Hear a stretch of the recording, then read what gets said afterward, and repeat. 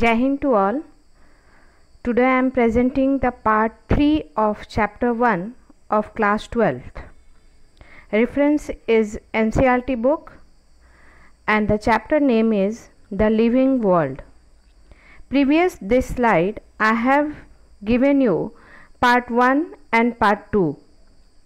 In part 1 I have given you the introduction of living organisms what are the characteristics of living organisms and what are the vital characteristics of living organisms like metabolism consciousness etc in the second part i have given you the biological classification in which we perform binomial nomenclature and i have introduced you all some terms like taxonomy systematics and what are these terms and what is taxonomy.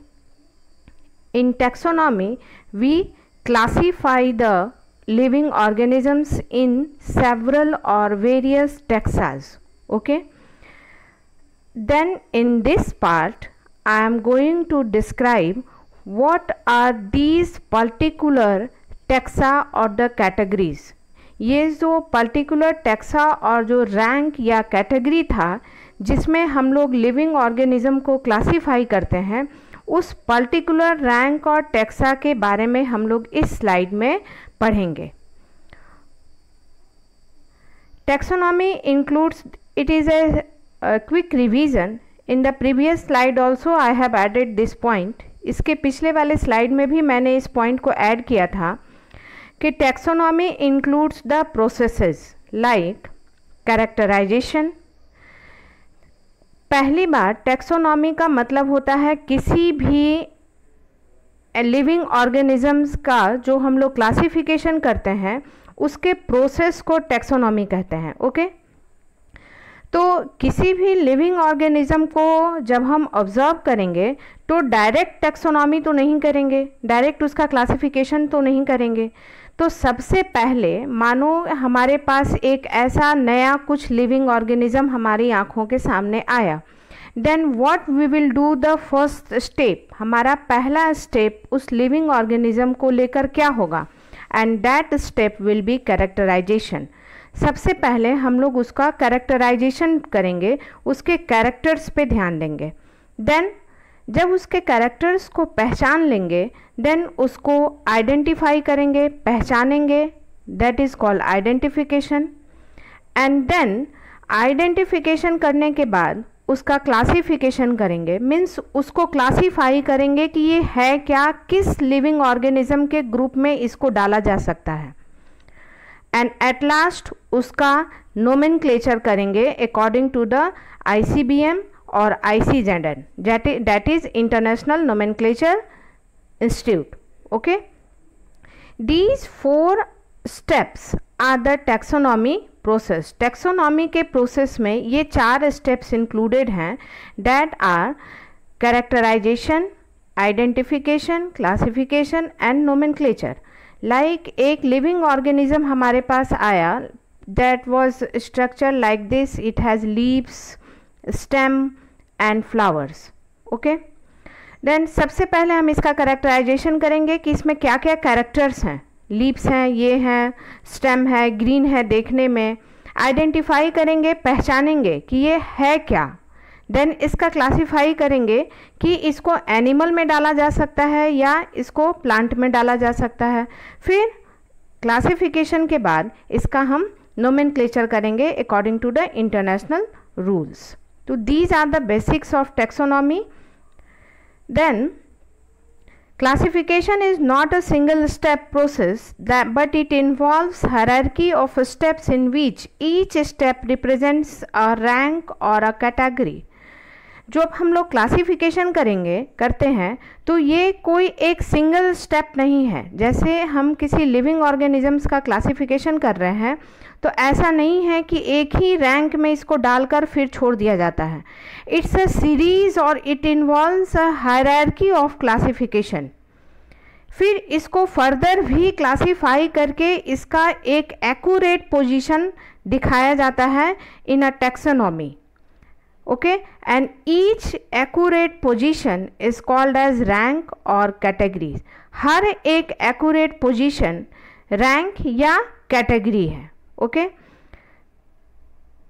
then each rank represents a taxonomy category हर एक rank जो है वो taxonomy category है.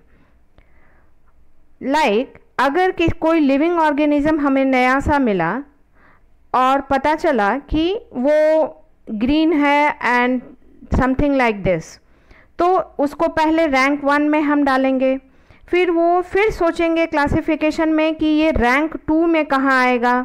फिर ये rank three में कहाँ आएगा।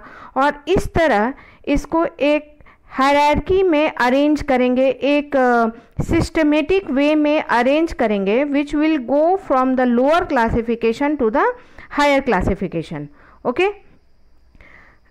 and this arrangement of classification or rank or category in a systematic order or in a ascending order then this is called as taxonomic hierarchy किसी भी क्लासिफिक ऑर्गेनिजम्स को क्लासिफाई करने के लिए हम उसको डिफरेंट रैंक्स देते हैं in the classification process and this different rank arrangement of different rank in a systematic order or maybe in ascending order means it is the lower one then it will be higher one then it will be more higher then it will be more higher and at last the highest position of the classification will reach. Then this position and this arrangement of the classification in a definite order is known as taxonomic hierarchy. इसी को हम लोग taxonomic hierarchy कहते हैं। Hierarchy मतलब होता भी है एक वंशा, एक एक पीढ़ी दर पीढ़ी अरेंजमेंट को हरारकी कहते हैं। उसी तरह किसी भी एक लिविंग ऑर्गेनिजम्स का जो क्लासिफिकेशन होता है, वो डिफरेंट रैंक में हम उसको रखते हैं और वो lowest to the highest rank तक उसका क्लासिफिकेशन करते हैं and that classification will be called as taxonomic hierarchy okay then what is taxonomic hierarchy the arrangement of categories in sequence is term as taxonomic hierarchy in taxonomic hierarchy each rank category taxon represent a unit of classification एक एक rank जो है हमारा, जैसे पिछले slides में हम देखते हैं कि एक रैंक ये है, एक रैंक ये है, एक रैंक ये है। All these ranks are separately called as classification classification okay each taxonomic rank will be represented as a unit of classification. वो हर एक रैंक जो है एक यूनिट है क्लासिफिकेशन का ओके okay? किसी एक यूनिट को हम लोग सरपास नहीं कर सकते हैं during the process of classification अगर हमारे पास कोई भी नया लिविंग ऑर्गेनिज्म आया या अभी भी जितने लिविंग ऑर्गेनिजम्स एग्जिस्ट कर रहे हैं they will occupy their position in each and every steps of classification. उनका जो पोजीशन है, वो हर एक स्टेप में कहीं ना कहीं है.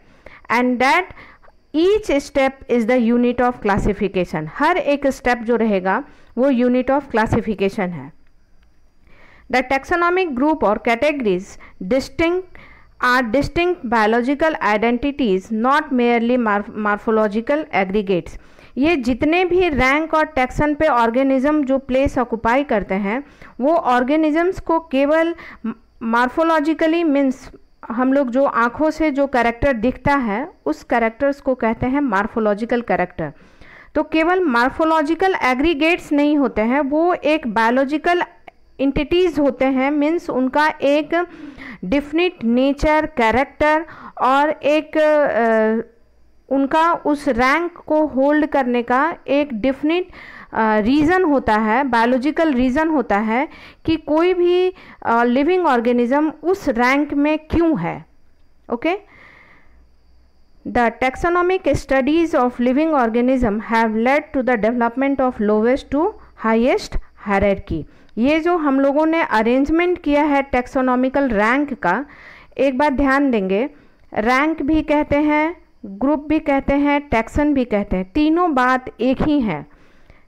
बुक में एक एक कर कर या separately these terms we are use but these all terms are equal like rank category tax and group these the arrangement of these living organism in a taxonomic hierarchy has given to the lowest to the highest hierarchy of course जब हम किसी arrangement में किसी living organism को सजाएँगे, रखेंगे classify करेंगे तो एक रैंक सबसे जो निचला रैंक होगा lowest will be the lowest और सबसे हाईएस्ट पोजीशन के क्लासिफिकेशन में जो वो जाएगा, वो हो जाएगा हाईएस्ट क्लासिफिकेशन जैसे मैंने पिछले स्लाइड्स में स्नैक्स को लेकर सजाया था, बताया था, तुम लोगों को एग्ज़ाम्पल दिया था कि हमने मार्केट से सामान लाया और उसमें स्नैक्स थे.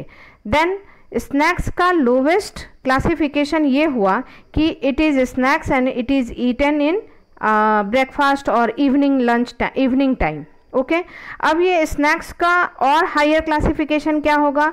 It is an eatable substance ये एक इटेबल सब्सटेंस है, क्योंकि इस इटेबल में बहुत सारे चीज़ आ सकते हैं स्नैक आएगा और भी बहुत कुछ आएगा।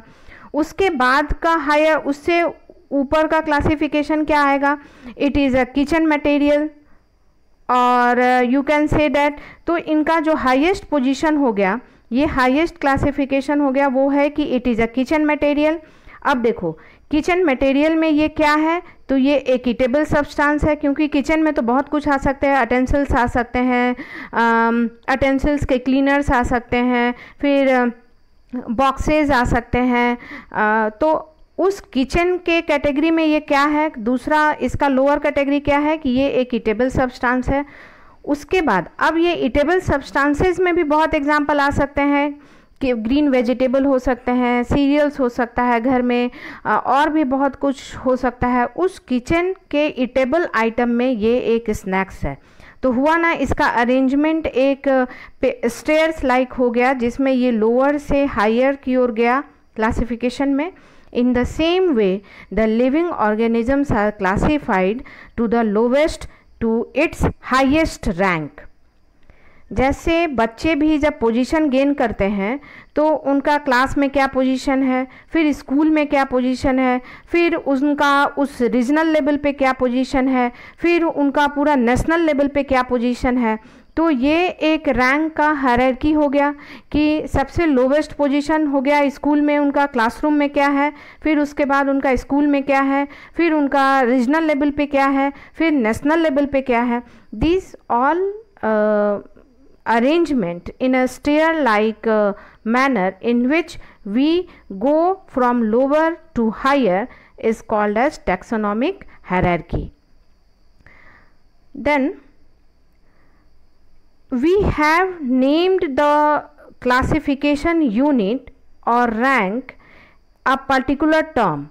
The lowest rank is called as species, then called the genus, then comes the family, then comes the order, then comes the class, then phylum and then this kingdom.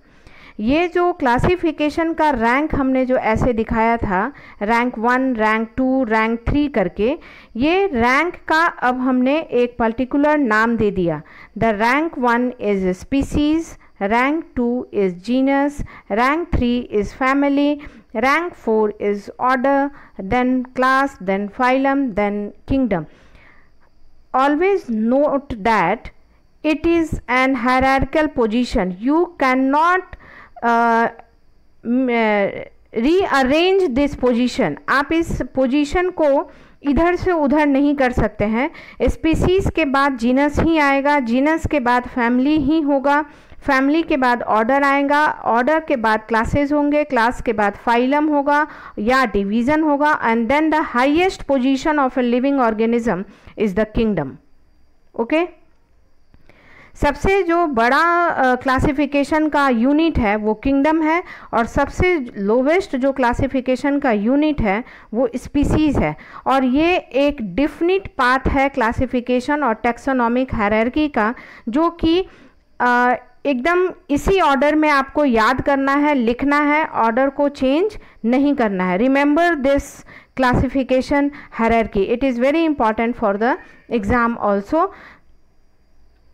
Now we will read the rank or the classification unit or the group or the category one by one in a in a detailed manner what are species species क्या है it is the lowest rank ये सबसे पहला और initiative rank है जिसमें हम लोग किसी लिविंग ऑर्गेनिज्म को क्लासीफाई करके रखते हैं the individuals have group on the basis of fundamental similarities fundamental similarities को देख के हम लोग उसको एक स्पीसीज़ में रख देते हैं। जैसे हम, मानव होमोसेपियंस जो हैं, इसमें सेपियंस जो है वो स्पीसीज़ है। तो मैं भी एक होमोसेपियंस हूँ क्योंकि मेरे पास दो पैर दो आँखें दो हेयर्स हैं mammary glands and you all the students are also homo sapiens because you all the possess the same characters like you have four limbs hand limbs skin ear the skin uh, mammary glands you all are mammals. Then we will put together in a single um, category और rank that will called as species ये fundamental similarities के आधार पे species में एक ही species में रखा जाता है। One species is different from its closely related species on the distinct morphological differences of course अब देखो हमें एक मंकी से अलग रखा गया है। मंकी का जो स्पीसीज़ है वो अलग है। हमारा जो स्पीसीज़ है वो अलग है। थोड़ा बहुत मिल सकते हैं हम लोग क्योंकि उसके पास भी फोर लिम है हैंड लिम है आ, आ, मेमरी ग्लैंड्स हैं मेमल्स हैं लेकिन उसके बा, बावजूद जो हमारे बीच में कुछ फंडामेंटल डिफरेंसेस हैं जो कि हम लोग और डेप्थ में जाके पढ़ पढ़ेंगे तो उन फंडामेंटल डिफरेंसेस के कारण मार्फोलॉजिकल डिफरेंसेस हैं। मानो उनके पास टेल है बट हमारा टेल तो वेस्टिजियल ऑर्गन बन गया है हमारे पास टेल नहीं है पोस्ट एनल टेल है। और उनके पास एक अच्छा खासा वेल डेवलप्ड टेल है। तो दीज मार्फोलॉजिकल डिफरेंसेस होने के कारण हम किसी एक स्पीसीज़ को दूसरे स्पीसीज़ से डिफरेंट क्लासिफिकेशन में डिफरेंट स्पीसीज़ के ग्रुप में रखते हैं। मैंने सारे कैटेगरी के रैंक को, का example I have given you from the book so, please, you have to remember at least all the species and genera name that is given in your book and the examples also it is very much important for your exams for example of the species magnifera indica and magnifera odorata are two species ये तो Indian आम हो गया जो हम लोग mango खाते हैं और ये जो साउथ एशियन एशिया में प्रसिद्ध ये आम है Indian mango that is Mangifera indica और ये दूसरा एक आम का ही दूसरा स्पीसीज़ है ओडोराटा जो कि इधर नहीं, उधर मलेशिया या अफ्रीका की तरफ़ पाया जाता है। और ये मार्फोलॉजिकली थोड़ा डिफरेंट भी रख, दिखेगा हमारे इंडियन मैंगो से। तो उसका नाम हमने अलग दे दिया डेट इज़ ओडोराटा ओके उसी तरह Panthera leo is the lion and Panthera tigris is tiger ये टिग्रिस टाइगर और लायन आप देख कर ही दोनों में डिफरेंस पता कर सकते हैं। लेकिन इनमें बहुत सारे सिमिलरिटीज़ होंगे ताकि, क्योंकि इनका हायर जो क्लासिफिकेशन है वो सेम है। तो इनमें सिमिलरिटीज़ है, लेकिन जो फ़र्स्ट इनिशियल क्लासिफिकेशन है, उनमें डिफरेंसेस होने के कारण ये लायन है and this is tiger please remember the meaning and if you will write this name in your copy then underline this name क्योंकि केवल रिटर्न या टाइपिंग फॉर्म में ही हम इटालियन फॉर्म लिख सकते हैं। हैंड रिटर्न में हमें जीनस एंड स्पीसीज़ के नेम को अलग अलग लिखना है और उनको अलग अलग अंडरलाइन भी करना है और जीनस का फ़र्स्ट नेम कैपिटल होगा। Species will be written separately with starting small letter and these two all these two will be underlined in this manner. In your copy. If you are writing in your copy. I have not underlined here because I have used Italian font. In the same way Solanum melongena is the brinjal and Solanum tuberosum is potato. Okay? Now the one step higher हमने पहले सीढ़ी पे कदम रखा that were the species अब ये different species का higher category क्या है? उसके ऊपर जब हम आ, आ, कदम रखेंगे we will go ahead then we will found the genus we will find genus हम लोग जीनस हम लोगों को जीनस मिलेगा. डैट विल इंक्लूड को रिलेटेड और ग्रुप ऑफ़ रिलेटेड स्पीसीज जैसे हमने पिछले स्लाइड में देखा कि ये पैंथेरा लियो और ये पैंथेरा टिग्रिस। केवल स्पीसीज डिफरेंट थे, लेकिन ये ग्रुप एक है and this group is forming your genus group उसी तरह इंडिका और ओडोराटा डिफरेंस था, लेकिन मैग्नीफेरा यहाँ और मैग्नीफेरा यहाँ भी एक ही है। This similar categories which is which consist of related species, is called as genus okay? Like here solanum lycopersicum. This is your tomato. And here solanum melangona is your brinjal. And here solanum tuberosum is your potato. Okay? Remember these names. These all are given in your book. I have not written any extra name except that mangifera odorata. All the names are given in your book. So remember these names. Solanum lycopersicum is tomato solanum melangena is brinjal solanum tuberosum is potato here all these species these are different species but the genus is same it means all these uh, different species are kept in a single genus that is solanum इनको एक single genus में रखा गया है जिसको कहते हैं solanum अब क्योंकि इनके इंडिविजुअल डिफरेंसेस हैं। ये देखने में टमाटर लग रहा है, ये देखने में तुमको बैगन है और ये देखने में पोटैटो है। लेकिन अगर थोड़ा हायर में जाएँगे तो कुछ कैरेक्टर्स हैं जो कि ये सिमिलरिटीज शो करते हैं। ये तुम हायर स्टडी में पढ़ोगे कि क्या ये कैरेक्टर्स हैं। अभी थोड़ा बहुत हम बता दें कि ये देखो, ये फ्रूट ये जो है, ये ग्रीन कलर का ये कैलिक्स है। इस टोमेटो में इस ब्रिंजल में भी ये कैलिक्स है। ये जो जीनस है, इसकी पहचान है कि इसमें जो ये कैलिक्स होता है, वो बहुत परसिस्टेंट होता है और फ्रूट बन जाने के बाद भी इसमें ये कैलिक्स रहता है। ये तुमको सोलानम में इसलिए नहीं दिख रहा है क्योंकि we use solanum not fruit but it is the stem of the plant इसके जो फ्लावर्स होंगे या फ्लावर्स में ज़रूर परसिस्टेंट कैलिक्स होगा।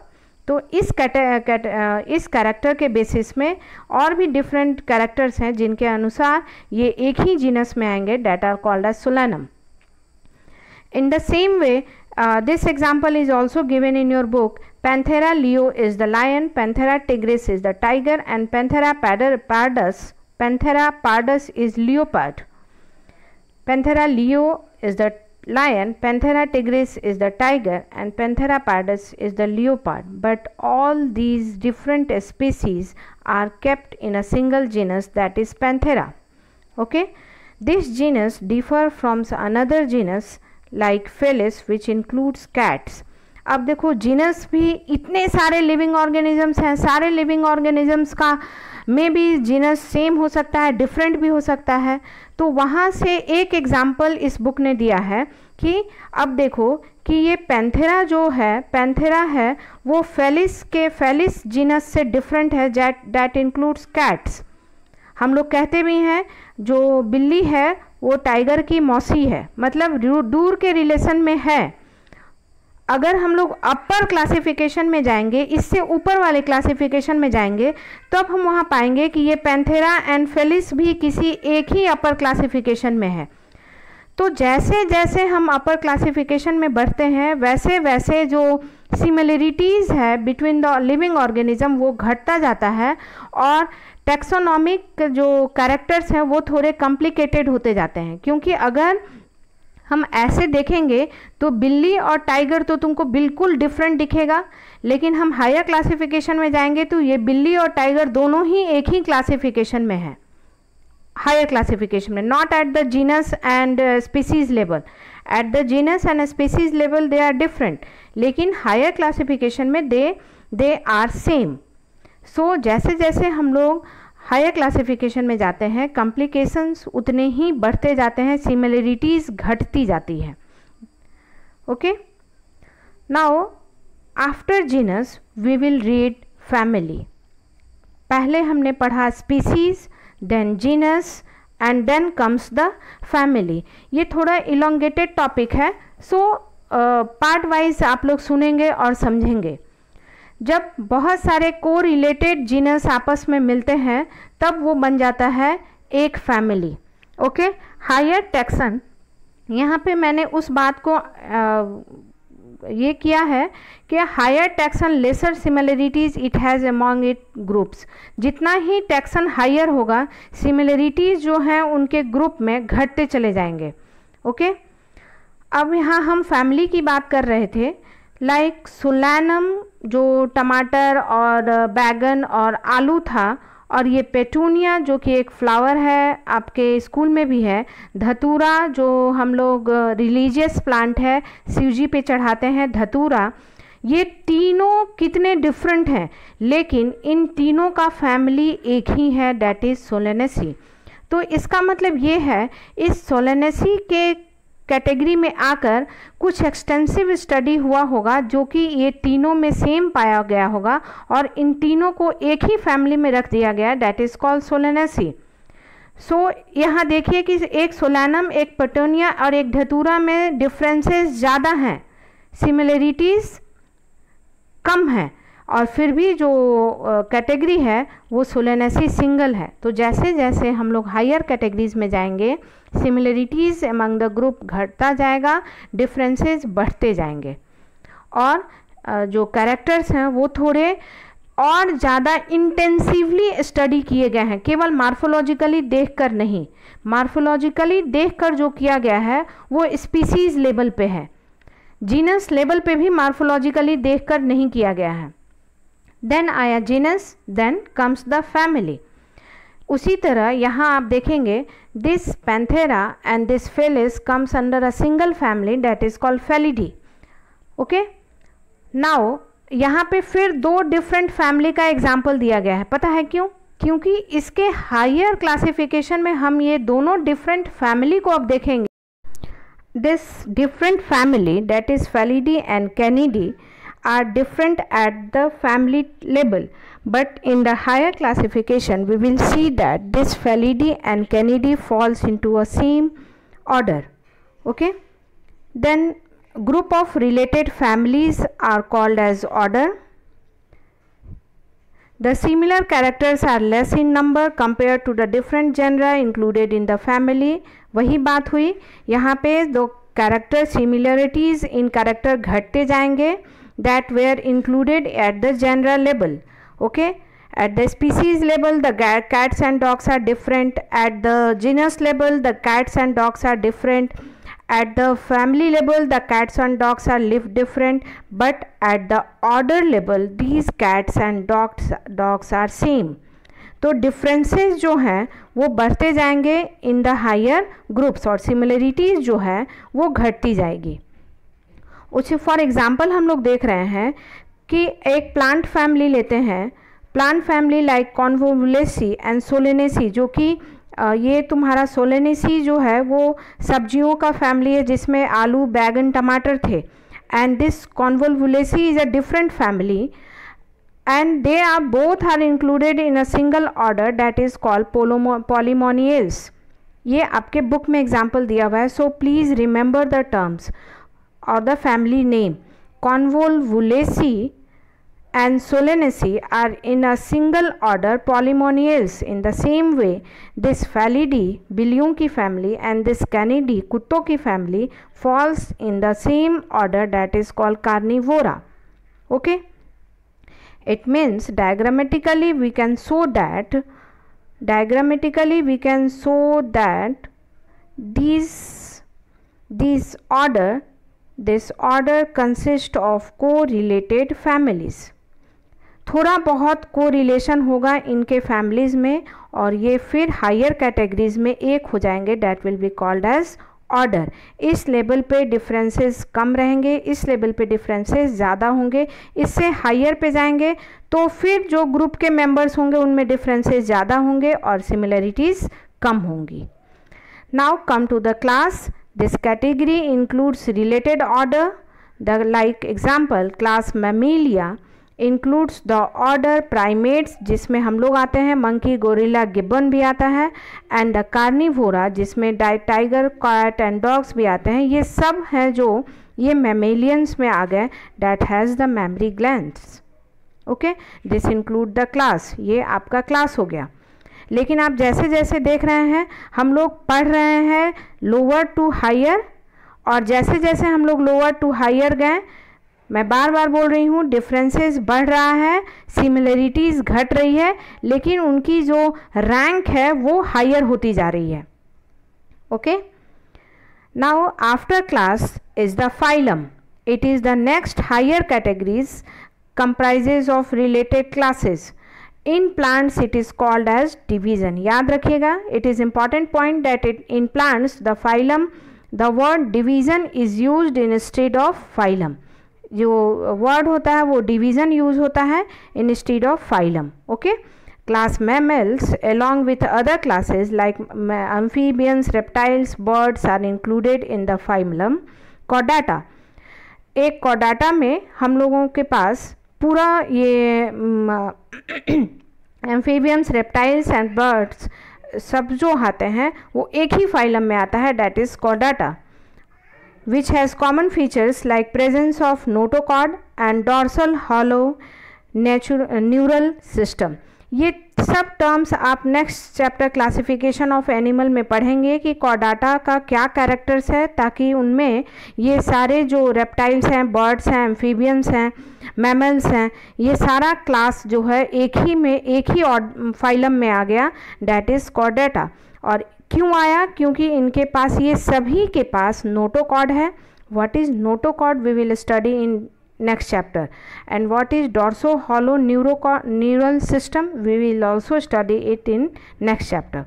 On this basis they the mammalians this mammalia amphibia reptiles birds all come under come under single phylum that is chordata. Now the next and in plants it the term is used as division. So remember it.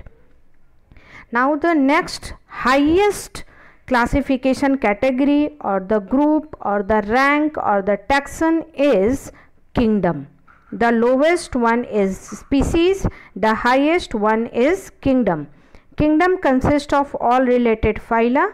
Animals belonging to various phyla are assigned to highest category that is kingdom Animalia and all plants जो कि species level पे millions में हैं वो सारे plants जो species level में millions thousands millions lakhs में हैं, वो सारे किंगडम लेवल लेवल पे आकर एक हो गए डैट इज़ कॉल्ड प्लांटी तो आप देखिए कि स्पीसीज लेवल पे कितने सारे हैं और सबसे हाईएस्ट कैटेगरी में आके वो सारे लिविंग ऑर्गेनिजम्स जो हैं, वो दो या तीन में बट गए डैट इज़ या तो एनिमेलिया हैं, या वो किंगडम प्लांटी हैं।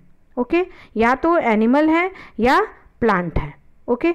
लेकिन स्पीसीज लेवल पे I have already told you in the biodiversity that 1.7 to 1.5 to 1.7 million species are there and these all are included under kingdom Animalia और किंगडम प्लांटी और in more advance you can say it this is two two kingdom classification uh, in the more and different scientists have given different kingdom classification also तो उतने बस kingdom दो या तीन kingdom में सारे लिविंग ऑर्गेनिजम्स को बांट दिया गया है so as we go higher the similarities decreases differences increases and variety also increases the group become larger larger and the largest the lowest one is species and the largest one is the kingdom. Okay? Now this example is given in your book. It it is must to remember at least these examples. This is man. Biological name is homo sapiens. Genus is homo. This homo. Family is hominidae. Order is primata. Class mammalia. Phylum chordata and kingdom will be animal.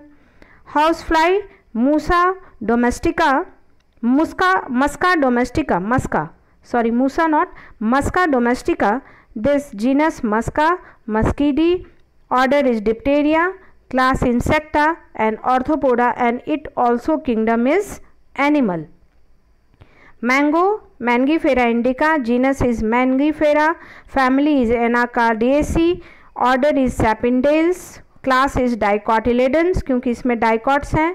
Seed जो हैं वो दो cotyledon के हैं। And the Plantae is Angiospermae क्योंकि इसमें flower है।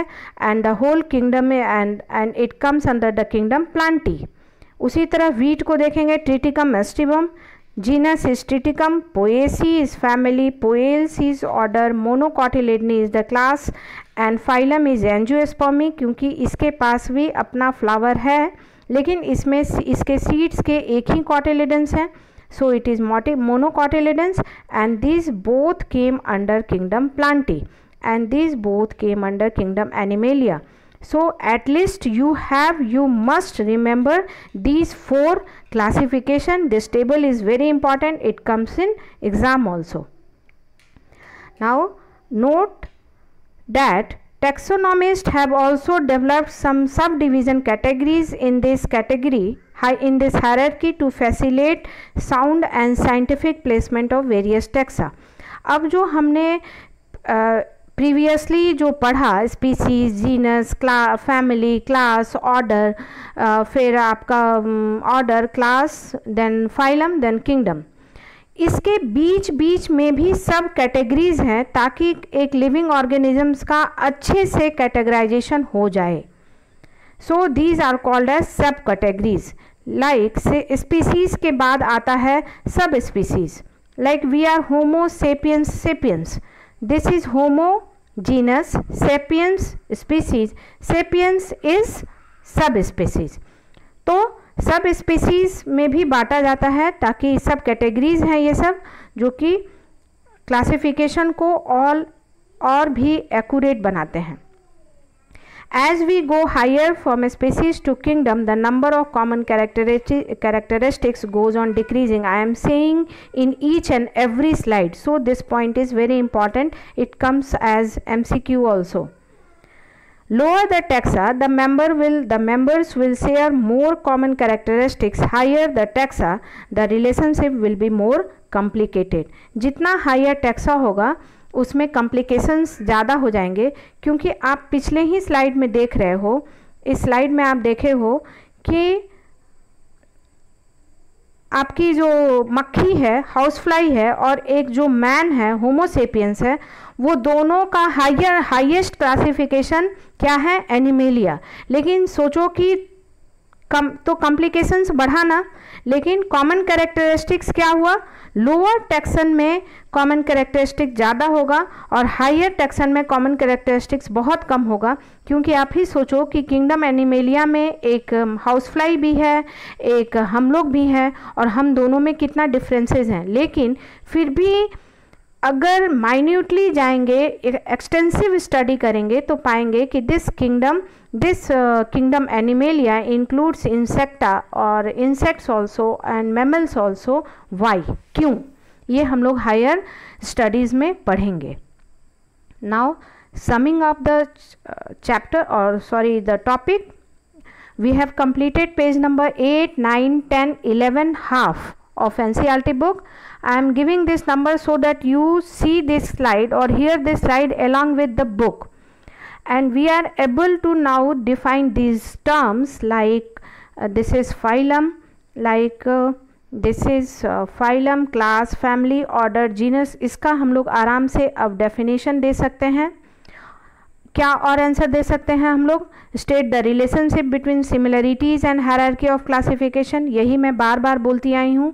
The similarities will decreases as we go higher in the hierarchy of classification and this is the most important point that remember at least all the examples of organism given in the classification taxon and write rewrite again and again write so that you can remember these name at least क्योंकि आप लोगों ने biology लिया है और एक biology student को कम से कम आप क्या है और आसपास की जो लिविंग ऑर्गेनिज्म है उसका एटलीस्ट जूलॉजिकल या बॉटनिकल नेम याद होना चाहिए as a biology student it is respect for you and for your subject so this is uh, your whole taxonomic categories slides read the book listen the audio and write it down in your copy. Thank you